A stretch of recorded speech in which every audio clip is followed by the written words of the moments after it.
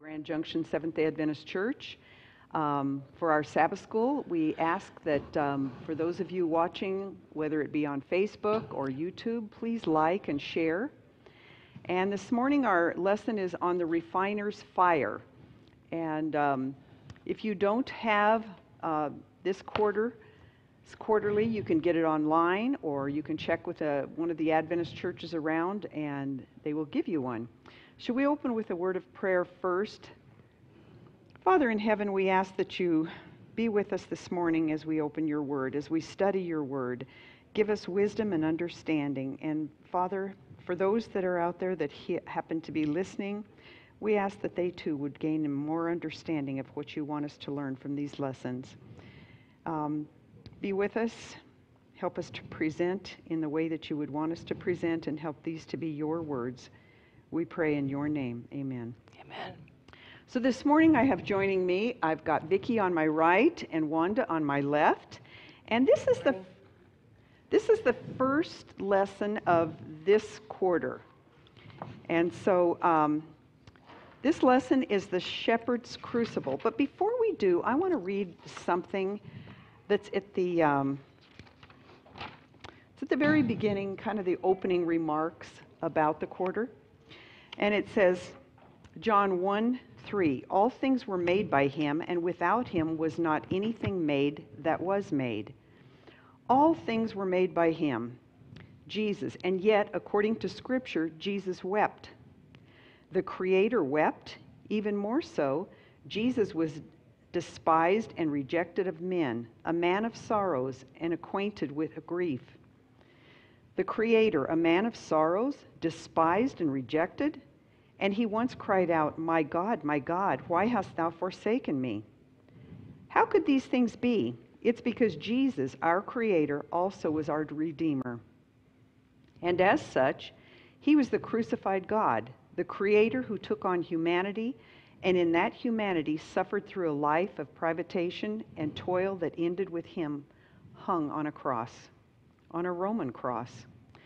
Thus, our Creator, the one in whom we live and move and have our being, suffered in humanity in ways that none of us ever could.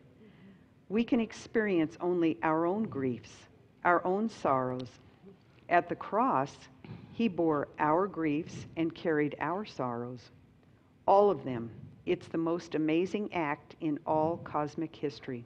Yes. And I think when we're talking about um, the crucible's fire, which is what this whole quarter's about, I thought that really said a lot. Agreed. Um, so let's get into lesson one. Um, we'll start on Saturdays. What is a crucible? Do you, It's a small dish that is made of material that can be heated extremely hot. And it's very often put on a little three legged stand and a fire put under it. And then whatever you want to purify is put in the crucible, and the heat purifies. okay. Um, any other things about a crucible? One, I looked it up, and that is exactly what it is, and that's the reference that it gives. It also says it's a severe test, which would be that particular crucible would be a severe test with whatever you're putting into it, right? It's going to change it somehow. Um, it's a situation which, which great changes take place. For example, if you're putting a block of gold in there or a piece of gold, what happens to it with that high heat? It'll It melt. changes it. Melts. Yeah. And it, it changes. So that's what it is. So when we talk about the shepherd's crucible, what are we talking about there? I think that to me, that tells me that my shepherd is with me as I'm going through these trying times. And um, sometimes he leads it to us, sometimes we get ourselves into it. Um, I saw on, on a video of a sheep, and, and, and more I see and know about sheep, I see and understand how stupid they really are. they are very simple. And it showed this shepherd, this huge sheep was caught in this trench. and it was about this wide. And it was really hard for the shepherd to get him out. So he finally got him out, and he jumped over here on the left side of the trench, ran a little ways, and then went to jump over the trench and fell right back into the trench. And we do that ourselves a lot. Aren't we considered the sheep? Yes, we are. Well, I, I don't know where you're going with the question about what is the shepherd's crucible, but it shows an illustration of the shepherd's crook there at, at the beginning of the lesson. And in many ways, that shepherd's rod or staff um, represents um, a painful experience because the shepherd uses it to, um, I, many times I saw my grandfather um, hook a sheep around the throat when it was going in the wrong way, going in a dangerous direction, and it would stop, but it was not comfortable for the sheep. Or he would catch them by the hind leg and they would struggle. But that, that rod, that staff was painful for the sheep, but it also was protective. Right. Exactly. Right. Good illustration, yeah. On Sunday is a guide for the journey, The Shepherd. Um, would you read our first verse there,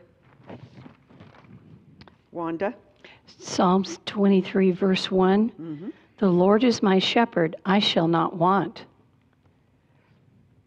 What picture comes to your mind when you think of this kind of a shepherd? You shared, like with your grandfather, being a shepherd of sheep. Um, here it's talking about the Lord is my shepherd, I shall not want. What's the picture that you get there? The first thing I picture is that wonderful green pasture and that everything's pleasant and wonderful. And He's just overlooking and watching us and protecting us and guiding us. Everything is hurting. pastoral and, Right. and, A and good, lovely. a good picture, yeah. Yes. Um,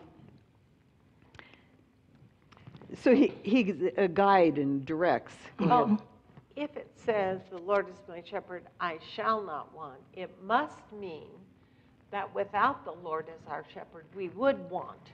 Mhm. There would be things that we needed that we could not achieve for ourselves. Or things that we think we need.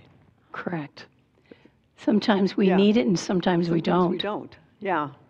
Um, you think of some people, um, for example, some people, say with a gambling problem, they think they need that.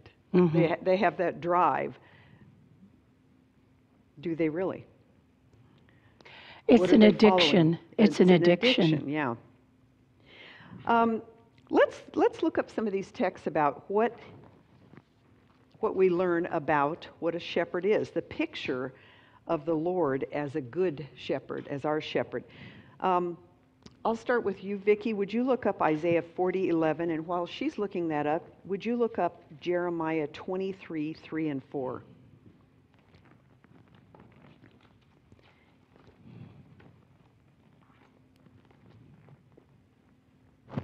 Want me to go ahead and read or wait? Go ahead. Ooh, Sorry. Okay, 4311. 43 or 40? 40, 4011. verse 11. Yeah. Okay. He will feed his flock like a shepherd. He will gather the lambs in his arms and carry them in his bosom and gently lead the mother sheep. So, what do we learn about the Good Shepherd in, in that, last, that verse? Oh, I have two, one memory. Uh, my mother was asked to sing uh, one of the arias from, um, oh, now it just went out of my head, from the Messiah. And um, in that song, it talks about, and gently lead those that are with young. And my mother, when she came and sat down beside me, she leaned over and she said, Oh, I wanted to laugh.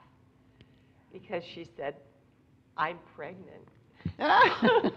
and nobody knew that. And so she, she that made her uh, chuckle.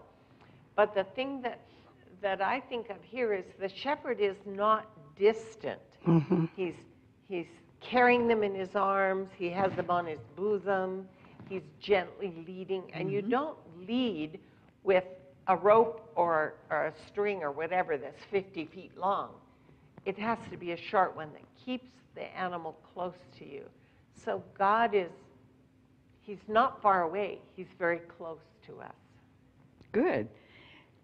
And um, would you read Jeremiah 23, 3 and 4?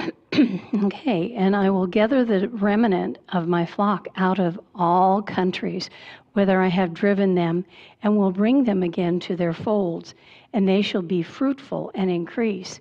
And I will set up shepherds over them, which shall feed them, and they shall fear no more, nor be dismayed, neither shall they be lacking, saith the Lord. And what do we learn about our shepherd here? Well, he has sheep that are not in his current fold, but they're out there and they're still sheep. So he's bringing them together with his current flock and bringing them in. And uh, that's another loving step of a loving sh- shepherd. And the fruitful, they're going to grow and increase. Um, when the uh, Israelites were in Egypt, they greatly multiplied from like 300 to a couple million over a period of time. And they were his sheep, and he was letting them get ready to go back to the promised land. And ultimately, that's where he's leading us, is to the promised land. Something else in that verse that came out. Um, Yeah. what else did it say about other shepherds? Yes, he will put other shepherds, set up shepherds over them. So there'll be individual shepherds taking care of different small flocks. And um, I see our, our pastors and our lay pastors as some of those shepherds that the Lord has given us. Exactly. Yeah. And Vicki, you're going Under to share? shepherds. Under, Under shepherds, shepherds, yeah. yes. Yes. Yeah. Yes. Um, well, yeah, that's, and that's a, a very honorable place to be. Humbling. I, I often feel that as a deaconess, I am an under shepherd. hmm Um, and that's, that's a very honorable and it's a big responsibility. Yeah, Yeah. I agree. Um, Vicki, Ezekiel 34:12 and Wanda, John 10, 14 through 16. Ezekiel 34. 34:12. Okay, I should have been ahead of you there. That's okay. All right. Going back to the one she read too, I like it that um, it said in there, they will no longer be afraid. Mm-hmm. So when, when we're being led by our shepherd, we don't have to fear. Well, and that gathering together, hmm it, Collectively there's- worshiping together does help strengthen us. yes, Yeah. right. All right, Ezekiel 34, verse 12. As shepherds seek out their flocks when they are among their scattered sheep, so I will seek out my sheep. I will rescue them from all the places to which they have been scattered on a day of clouds and darkness. Um, the man who wrote our quarterly talked about how um, in Africa, the sheep can all, from different flocks, can all get mixed up together. But a shepherd knows how to call his sheep, and they know how to listen to his voice. Right. And so pretty soon, all those sheep are with their own shepherd. Correct. Isn't Um, that neat? I saw a video of an uh, Irish gentleman who was a shepherd, and they were, and he swore he knew each of his sheep individually, and they didn't believe him. So they took some paint and painted an X on the stomach of three sheep from another um, shepherd's flock, and they mixed them all together. And they said, "Okay, now tell us which ones are your, are not your sheep." And in less than 30 seconds, he identified all three sheep because he knew his sheep. And I was just in awe at how quickly he was able to identify out of 100 sheep, three sheep that were not his. Oh, interesting. that tells us a lot about our shepherd, then, doesn't it? It certainly does. Okay, and John 10, 14 through 16. which is going right into what you were talking about. Yes, that's what made me think of it when I was looking at it. I am the good shepherd and know my sheep, and I am known of mine. As the Father knoweth me, even so I like the fa- and the Father, and I lay down our life, my life for the sheep. And other sheep I have, which are not from this fold, them also I must bring, and they shall bear my vo- hear my voice, and they shall be one fold and one shepherd. Um, I love how his sheep know him; they know Yes. his voice Yes. and he knows them, and that he and his father jointly are laying him down to as a sacrifice for removing sin from our world. Yes. I thought all these texts that they had put in this lesson were beautiful. Yes. Our, our lesson this time is on the 23rd Psalm. And what testimony does the psalmist David give about this scripture song? Um, Vicki, would you look up 2 Samuel 23 2? I mean, uh, who wrote, fir- first of all, who wrote the Psalms? David. David. Mm-hmm. And, and we're going to learn what, you know, what testimony he gives for writing what he does write. Okay. Second Samuel. 2 Samuel 23 2. Okay. The- The Spirit of the Lord speaks through me. His word is upon my tongue. So what is he saying is the what gives what gives David um, his scripture songs? The Lord. The Lord. Yeah. Yeah, he gives all credit to the Lord for that, doesn't he? Mm-hmm. And would you look up Psalms 23, 2 and 3? And here we're going to learn what places does the Good Shepherd lead his sheep? Okay. Uh, what verses? Psalms 23, verses 2 and 3. Two and three. He maketh me to lie down in green pastures. He leadeth me beside the still waters. He restoreth my soul. He leadeth me in paths of righteousness for his name's sake. So, what pleasant places does the Good Shepherd lead his sheep? Ah, those lovely green pastures just full of grass to eat and still waters. And um, I know the author feels that at this time the shepherd had dammed up some water so it wasn't rushing and flowing. It was very calm, very cool, um, and uh, almost probably could see like a glass of uh, in a mirror. Mm-hmm. It was so clear and, and perfect. And this is a very peaceful, wonderful thought. Sheep won't, sheep won't drink where the water is rippling and over rocks and stuff. They have to have still water. Right. And the shepherd knows that, so Right. he provides what they need. Um, my translation says in verse 3 He leads me in right paths for the sake of his reputation. So he wants to take good care. The Lord takes good care of us because that reflects um, our- our allegiance to him is then it's, it's seen to be valuable Mhm. because he takes such good care of us. And where is he leading us? Well, I think there are paths that are good, and then there are paths that are a little rough and, and rough terrain to get us to another pasture. Um, but ultimately, we want to look at the ultimate goal. Okay. My translation says he leads me in right paths. It may not be the ones I would choose, Right. Correct. but they're the right ones for my character development. Yeah. One of the things that um, in in some of the stuff that I was reading, it says God's ways always leads home.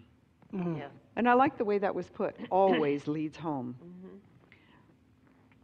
So in this in this 23rd psalm, right off the bat that we see that God's care and provisions right off the bat. Um, all of us have a journey and we have different paths that are taken. But we have to remember that if we're not following God's path, we're not, we're not being led home. Correct. We're not being led in the right way. Um, it says in our lesson, would, uh, let's see, the paragraph that starts, but why are these paths called? Um, Vicki, would you like to read that? I'm not sure where you are. On Monday, I'm sorry. Oh, all right. All right.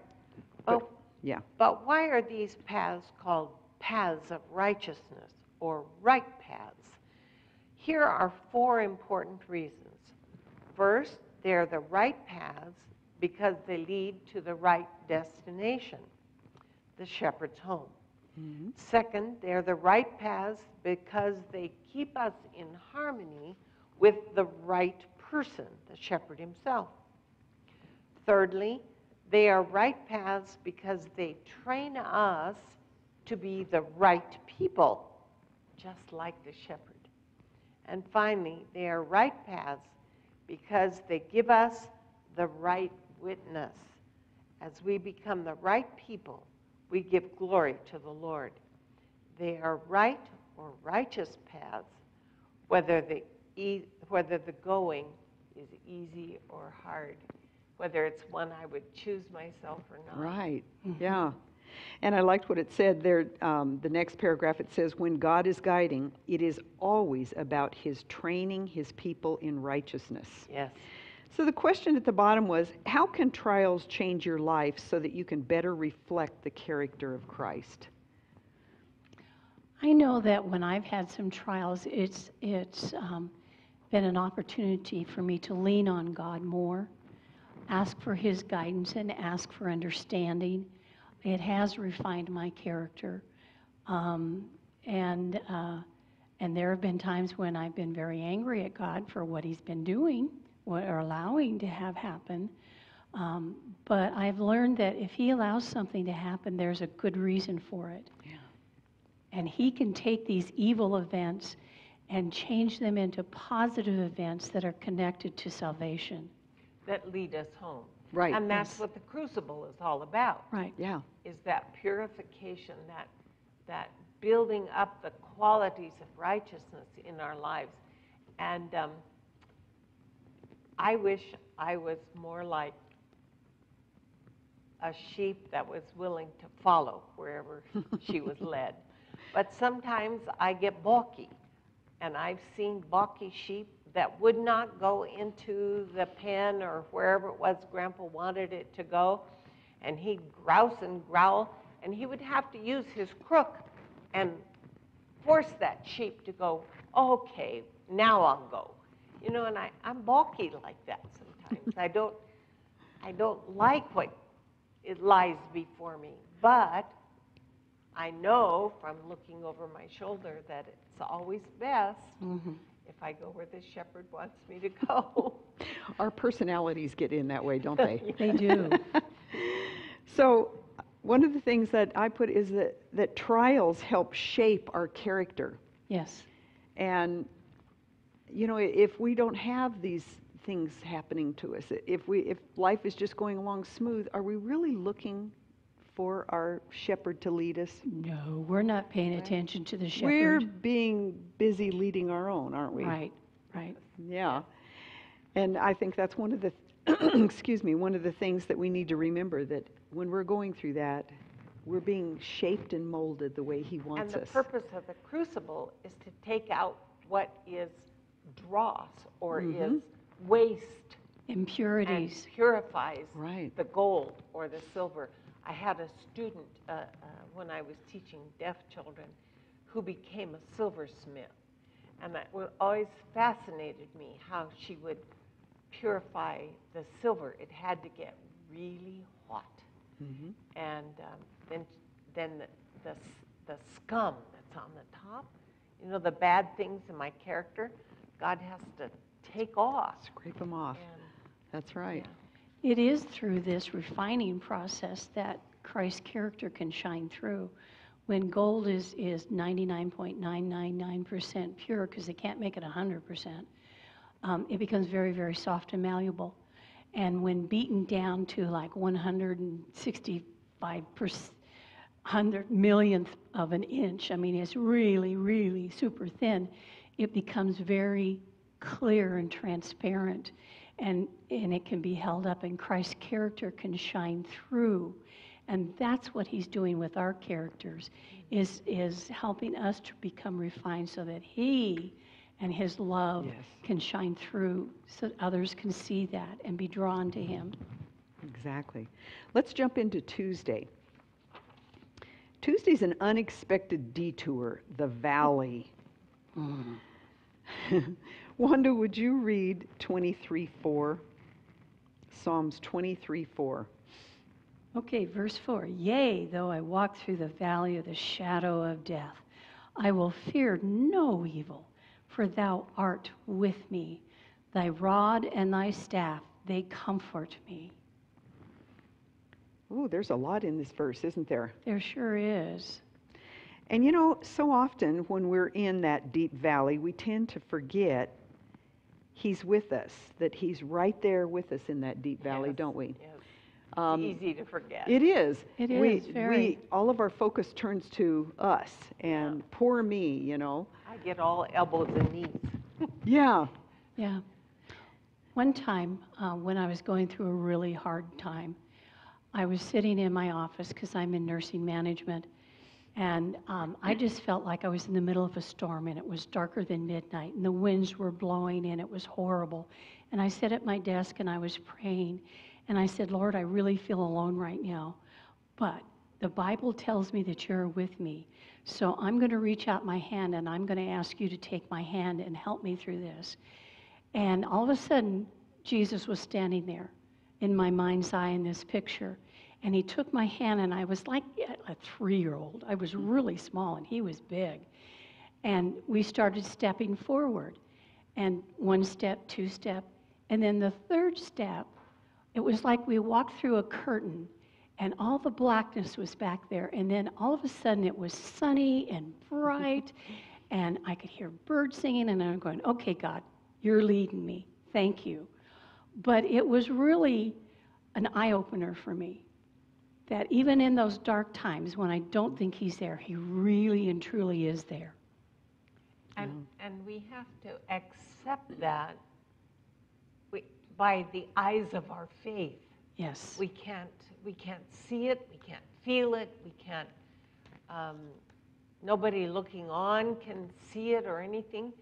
But the eyes of our faith, there's a scripture that talks about opening the eyes of our faith so that we can see Mm-hmm. that He is there. And I think that's a very good point when we're reading Psalms 23. It, it- how much faith we need to believe all this. Yeah. Um, I thought it was interesting that David said, the rod and the staff are a comfort. Mm-hmm. Um, when a sheep gets caught around the neck by the shepherd's crook, um, I don't think that's very comfortable for it. But I wonder if, in our experience, as God drags us back from the precipice of disaster, or as we get ourselves into trouble and He, he helps us to come out of it, eventually we come to see that rod as a comfort Exactly. because He uses it to protect, to uh, make us more safe, um, to not let us get beyond our depth. And there's where our character is being formed Yes. more and more. Yes. hmm Um, the lesson brought out um, the shadow of death. The shadow of death. It's, it says it's an image for very deep shadow or deep darkness. Um, made me think of have you ever gone to the planetarium, for example, and they said, okay, we're going to turn out the lights and, you know, put your hand in front of your face. Do you see anything? And that black, that, it's almost a thick, deep blackness, isn't it? Mm-hmm. And when I think of this deep shadow or this deep darkness, that's what I think of, that it's just so heavy on us and so surrounding us that you feel like there's no out. Very engulfing. Mm-hmm. And I think, I can't imagine that anyone would not have had that experience. Yeah. Um, that, that total uh, inability to see beyond what's right here. Um, and, and those are, those are difficult times. Sometimes it's so dark we can't even weep. hmm Um, but he's there. And um, those deep shadows have a purpose. Yeah. Yeah, you know, I've often thought uh, those the ones out there who don't have that relationship with God, who don't have that faith, how deep and how dark that must seem at times not to have to feel like you don't have someone that you can turn to. And that's why the suicide rate just it keeps going up. We say, well, it spiked. Well, no, it keeps on going up. And particularly among young people who don't who who have felt totally abandoned. hmm Uh, and um, that's one of the reasons why we have this assurance, so that we can share it. Yes. Yeah. And the next part it asks, Do you have fear even though you knew that the shepherd was there? What Bible texts were most precious to you at that time and why? I had done a sermon not too long ago, and so this one for me was easy on those Bible texts to jump to. Um, my first one was Jeremiah 20, 28 11, or did I write 29 11? For I know the plans that I have for you. And that's one that, you know, I, I always went back to. Another one was um, 1 Corinthians 10 13. God is faithful and will not allow you to be tempted beyond what you're able. And how about Hebrews 13:5? I will never leave you nor forsake, you. You. Wonderful. You know, those are those are texts that when you're when you're just feeling like you're at the bottom of the barrel hmm and that there's no one there to help you. I those are texts that I had always jumped Right. into. One of my favorites is Isaiah 65, 24. And it shall come to pass that before they call, I will answer. And while they are still speaking, I will hear. He knows what we need. That's Yeah. Matthew 6, 8. He knows what we need before we ask him. Yeah. But we do need to ask him. And sometimes we just need to say, Lord, I don't know what to ask for. Guide me, show me, tell me what I need to ask for. And Holy Spirit can take that jumbled mess that we don't know what to make of and, and make it clearer to us and, and translate it to heaven so that God can answer our prayers. He is always, always, always there with us. I like the point you made. He can take our jumbled and trans- you know, a lot of times people will say, "Well, I don't pray because I don't know what to say." Mm. And you know, I think that was a very good way to put that. He takes things that we don't know what to say and turns them into beautiful He does. words. One of the stories I like to i- i- share is a little girl was uh, praying and she was going through the alphabet A, B, C, D, E, F, G. And her grandfather asked her what she was doing. And she said, Well, I'm not sure what to pray for. God knows what I need, so I'm just going through the alphabet. good point. I thought that was very cute. You know, my mother, I think sometimes our mothers loom larger than life. And my mother was a very dominant woman. But in her later years, I discovered that she had many, many fears. And um, the text that she, I would often hear her whisper is Psalm 56, uh, verse 2. And in the, in the King James, I think it says, What time I am afraid, I will trust in thee. What time I am afraid, and mom would whisper that over and over. What time I am afraid, I will trust in thee. Oh, good. And that's one that comes to me. yeah. What time I am afraid. Uh, I think I'm a lot like my mom. I get scared about many things. so, um, yeah, what time I am afraid, I will trust in thee. And that brings another one. Fear not, for lo, I am with you always, you know? Yes. always. Always. Yeah. Um, do you think the sheep went their own way, or did the shepherd lead them into that valley?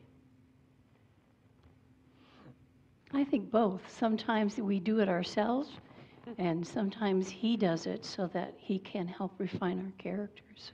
Well, it says he leads, Yeah. he leads, and so even if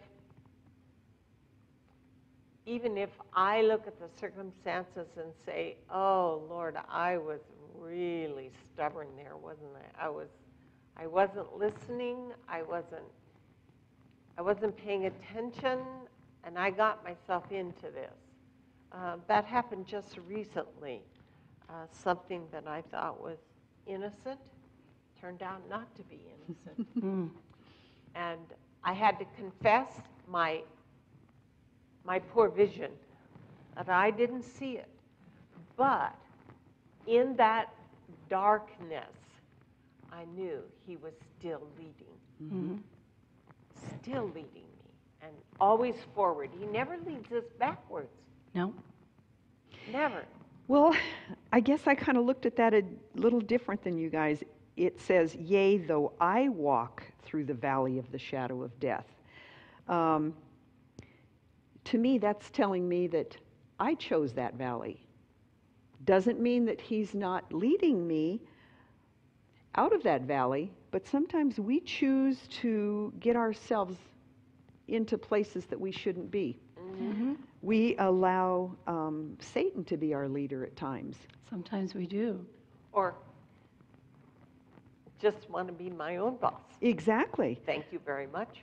Mhm. But even when we want to be our own boss, who who are we allowing to That's put those That's thoughts right. into us? You know. We're either listening to God or we're listening to Satan. Right. One or the other. But here's the wonderful thing about our shepherd: he allows us to make that choice. You know. That's a huge blessing. Yeah. But he never the the other good thing he never leaves us or stops looking for us when we do make those awful choices. Um, at the very bottom it says Elisabeth Elliot writes, a lamb who found himself in the valley of the shadow of death might conclude that he had been falsely led. It was needful for him to traverse that darkness in order to learn not to fear. The shepherd is still, with Still him. Yeah. So even when we're in those places when we can't see our hand in front of our face, we, we can remember that he is he's still there with us. I read somewhere that in the Bible there are 365 verses talking about not fearing, One for every day. one for every day of the year. And I just think that is so synchronistic and beautiful. I love that. I hadn't heard that. Mm-hmm. Yeah. I love that. Old Elder Kuhn used to say that. Yeah. Mm-hmm. One for every every day of the year, and you never have to repeat. Yep. That's great. Let's go jump to Wednesday, the unexpected detour, the surrounded table. And Vicki, would you read Psalms 23 5? You prepare a table before me in the presence of mine enemies. You anoint my head with oil. My cup overflows. Oh, what do you get out of that one? You prepare a table for me in the presence of our enemies? What types of enemies? Oh, that's a good question. All kinds of enemies that are fighting against God, that are fighting against you following God. And I think this is another witness of the importance that God puts on us individually, that He's willing to set this, this special dinner, this special table. Um, one that came to mind to me was Esther when she invited the king and Haman to come and to have dinner. The king and Haman were the honored guests, but there was a reason behind it, and it saved the Israelis. It saved them, Hebrews. from- the yes, Hebrews, yes. the He- Hebrews. It saved them, Yeah. and uh, so there are a lot of people out there, and Satan and his minions. Uh, working very hard to help us not pay attention and follow him. I um, spent some time with this section of the lesson thinking back through my life when the Lord prepared a table when I was surrounded by enemies. And I thought of three particular incidents in my life. And um, looking back, I can see the table of blessing, but at the time I didn't. Yeah. hmm That's so time, often with everything when I, we look back. I could not Yeah. see the agony, the pain was so much in the forefront that I could not see that he'd already prepared what I needed, uh, what, what nourishment I needed from his word and from his presence. Um, so, anyway, um, I think we all can identify that that there are times when we can't see the nourishment, when Mhm. when our agony is too great. But it's there. We can trust him. Yeah. Yeah. Would you look up Matthew 5:44, Wanda? And Vicki, would you look up Romans 12, 18 through 21? Matthew 5. Matthew 5:44. And verse 44. And when we're talking about types of enemies, it asks, what types of enemies have you had in your life, and how have you responded to those? What's my text? And your text is Romans 12, 18 through 21. Okay, Matthew 5 44. But I say unto you, love your enemies, bless them that curse you, do good to them that hate you, and pray for them which despitefully use you and persecute you. And that has been a real challenge for me many, many times. Lord, help me to act as Jesus would. Help me to perform the work that I need to do as Jesus would have me do. And it is really hard to play to pray blessings on somebody who has been mean and hateful to you. And um, but then I remind myself, God loves them, and He died for them just as much as He loved me and died for me. Yeah, we need to remember that they too are a child of God. They are Just the same as we are. And that's hard to do sometimes. very I think betrayal is the very hardest thing yes. um, to um, to allow God to use to refine me. You know, to be betrayed by someone whom I should be able to trust or whom I have trusted, and then to be betrayed in in ways that are devastating. Um, And maybe It's that's a reminder. Where are we putting our trust in who we trust? Right. You know, maybe Yeah. that's just a little reminder. yeah. And we need to remember that we can't hang on to that anger and that um, n- negative feeling because it's like drinking poison. We're not putting anything bad on that person. We're hurting ourselves Yeah. more if we hang on to that anger. And it's better for us to release that anger, turn it over to God. Let God work in us and through us and in that person and through that person to help change things. And once you forgive that person, it is such a freeing hmm release of, of uh, negativity. It's just so beautiful. Well, I love the definition of forgiveness, or the definition, yes, I think that's the right word. That forgiveness is a gift you give yourself. Because if you don't forgive, it's like you're not poisoning them, you're poisoning yourself. Yeah. Correct. And I think the very most difficult experience I ever went through to be able to say, I forgive and I love. Um, even though there were subsequent times when I struggled with that, Right. you know. Yeah. I used to teach the junior early teen years ago, and my son was in that class, and there was another boy in that class. Those two absolutely hated each other. I mean, they couldn't find anything about each other they liked. Well, try teaching a class like that when you're when you've got two boys in there that are just no matter what one would say, the other one would go against it. You know, it was terrible. So I invited this boy to our house one time without my son knowing. And I thought, these two are going to learn to like each other. Well, my son was so mad to start with. Oh, he was mad. They weren't going to have anything to do with each other. Well, when you think that they're the only two there and they're going to be there together all day long, fortunately, my plan worked. By the end of the day, they were like best buds. They found out they had a lot in common that they liked, and and you know, they could agree on this and agree on that, and it just changed everything. And sometimes I think that's the way we are. Somebody that we think is our enemy and and um, that we resent or whatever. Sometimes we just don't know what path they're walking down to be more understanding of them. In this particular case, this boy had a lot of unpleasant paths he was having to traverse. Oh, And so I think with my son being able to find out some of this stuff, all of a sudden they could see more on the same page. So I think sometimes we need to think about that kind of stuff too when we're thinking someone is our enemy. Uh, Romans 12, 18 through 21. If it is possible, so far as it depends on you, live peaceably with all. Beloved, never avenge yourselves, but leave room for the wrath of God.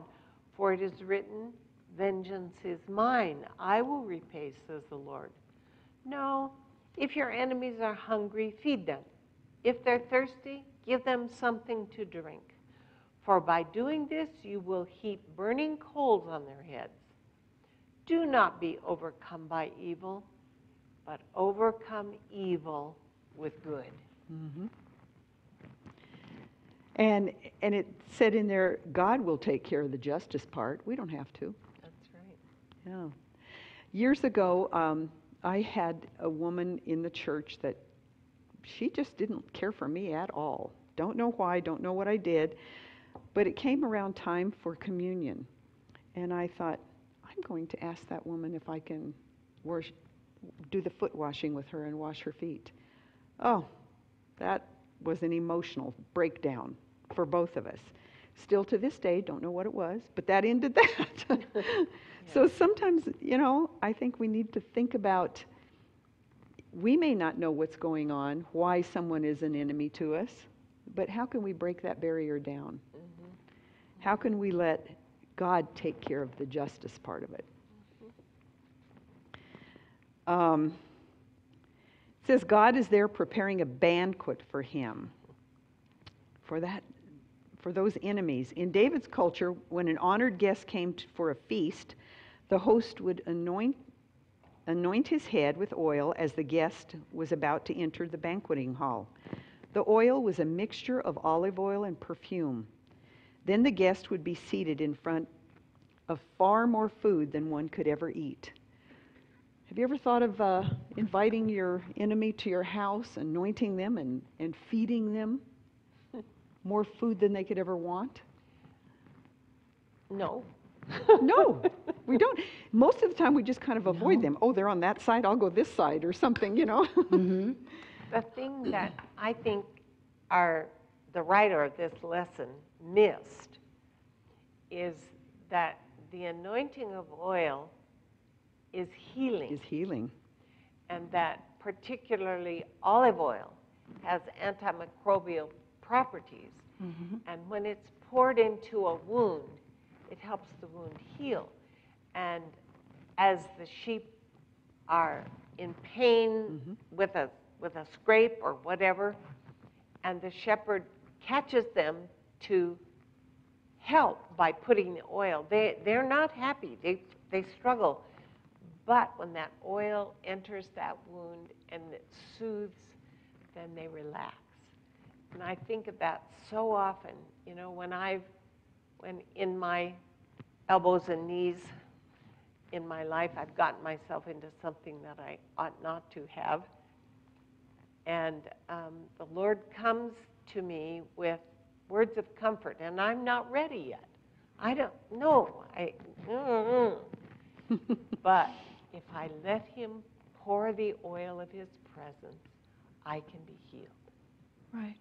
I think it is a lesson twofold. One, it is a guest of honor, and it is perfume, and it, it makes that guest of honor stand out. But like you said, the oil, the olive oil does have the antimicrobial and it helps heal. So this, this person that is special has some wounds that need to be healed. So I think it is, there's always several layers to many Oh, yes. things in the Bible. And I always like, it's like an onion, you keep peeling back more and more interesting layers and learn more. Yeah. So we too are under that protection from our royal host. Yes, we are, Under that protection, under that, uh, like you said, the healing oil. right. Let's go to Thursday. And we could go on and on on that one, but I'm looking at the time and we need to move on. Yes. a certain promise for the journey. Um, Psalms 23 6 says, Surely goodness and mercy shall follow me all the days of my life, and I will dwell in the house of the Lord. Do you always feel like goodness and mercy follow you? Hmm, yes and no. I have to tell you a funny story.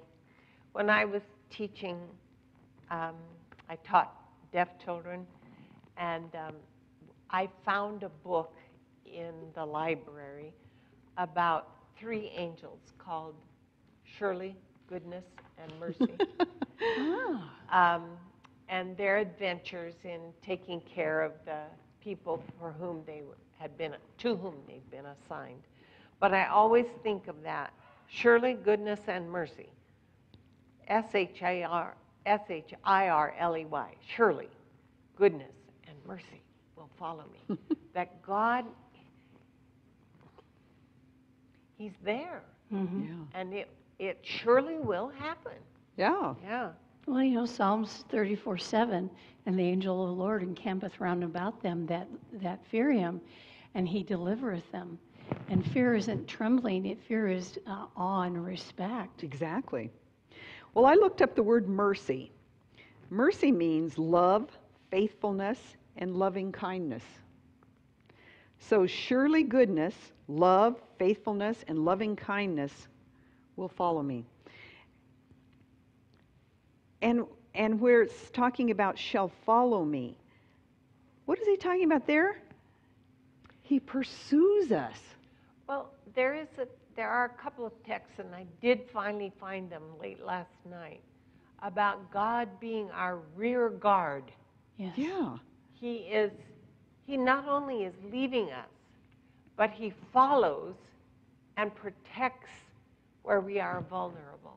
Yes. Yeah. He is our that- rear guard. I do like that word pursue. I love that word. I I just think that's awesome, and I hadn't thought about that before. Um, you know, f- uh, follow is, you know, things are going good. Mhm. But pursue, that's, that's Yeah. earnest and sincere, and, and, and I'm that valuable to God. Each of us are that valuable Well, to maybe God. you remember being in, say, grade school or junior high, and there was this certain boy that, oh, he was just the. What did you do? You pursued him. You wanted to be where he was going to be. You, you hoped that he would notice you. Whatever. And I think, and God is pursuing us all the time. It reminded me of a poem that I have loved for many years called The Hound of Heaven. And uh, this, uh, this poem talks about how the hound of heaven pursues me through all the things of my life. And he won't, he won't quit, he won't desist. He continues to pursue all the time. hmm I like that. And then it talks about the house of the Lord um, forever. What do you get with the house of the Lord? I will dwell in the house of the Lord forever. Um, when I when I looked up some things on this, it talks about it's both a palace and a temple, um, a religious or royal sphere, in the image of the shepherd and the being, and the king. I mean, just to think you would live in the house of the Lord forever with the king, with that shepherd. In our, go ahead. I was just going to say, it's very humbling to think of that. I mean, that is the New Jerusalem. Yeah, he pursues us and wants us to live there with him. Come on, come on, let's go. Well, I think you said early, early on something about um, he leads us because there's a destination, Mhm. Right. and this this is the destination. is Yes. his home. He always leads us home. yes, that's what you said. Yeah, always yeah. leads us home. Yeah. Um, would you look up Ephesians 1 4 and um, would you look up 2 Peter 1.10? So I'm looking up Second Peter, right? 2 Peter 1.10 and you're looking up Ephesians 1 4. And this is talking about in spite of his, of his trials, uh, what two things does David say that he is certain of? Ephesians 1 4. According as he hath chosen us in him before the foundation of the world, that we should be holy and without blame before him in love. I love that. Isn't that wonderful? before the foundation of the world, before anything was ever created, before Right. anything was made. This plan was in place. Right. And that reminds me, it says, "You formed me in the in my mother's womb." That before we had personality or anything, Yeah. He had already predestined us to arrive at His home. Right. Yeah. I love that. And 2 Peter 1:10. Therefore, brothers and sisters, be all the more er- eager to confirm your call and election. For if you do this, you will never stumble. Wow. So if we confirm or um, ratify, maybe is another way, if we if we make sure that we are committed to this leading, then we'll never stumble. And one of the translations I looked up it says be eager to respond to God's call. Mm-hmm. Be eager because you'll never fall. I love that. Yeah. Be eager. Um, and the pursuing us, what picture do you get? And I liked it, what it said. Um, he doesn't give up. Right. When he pursues us, he doesn't give up. No matter if we're off in that deep valley, he never gives up. Thank you for being persistent, Lord, Yeah. and Oh, yeah. pursuing each of us. And when at the bottom of the lesson, when it talks about how is the cross the greatest example of pursuit, there could be no greater example. No. Agreed. Um, when you think of the, the, cruci- uh, the crucible with Christ, do you see yourself there now or have you? Oh, yes. Definitely. Yeah.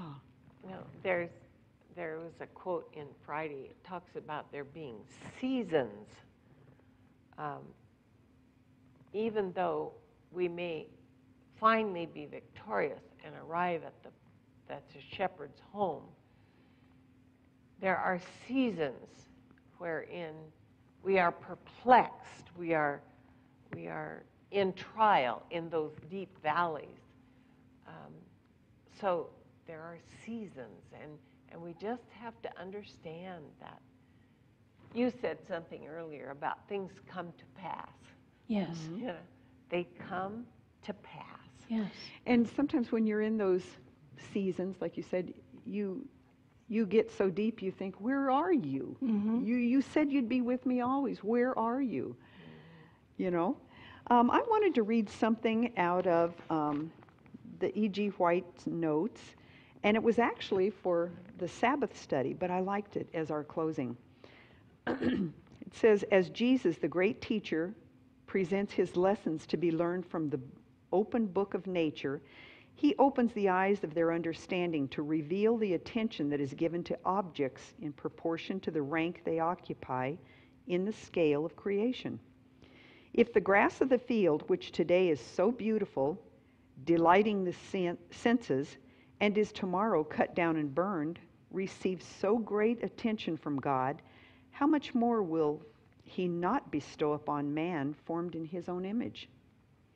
We cannot form exaggerated ideas of the value of the human soul and the attention given by he- heaven to man.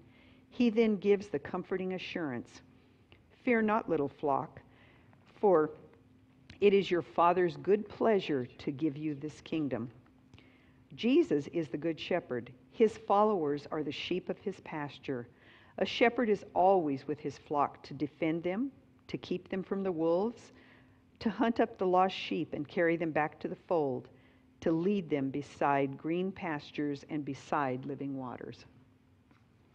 And I thought that is such a comforting Yes. Comforting thought. not, yeah. And we are at the end of our time. We thank you for joining us. Um, please join um, our next service, pastor's sermon, and we hope that you attend and come back next week. Vicki, would you lead us in our closing prayer? Loving Shepherd, thank you that you have given us so many illustrations of the ways in which you, your heart leans out toward us. Give us the courage to trust and the, the joy of knowing that we are part of your flock. In Jesus' name, amen. Amen.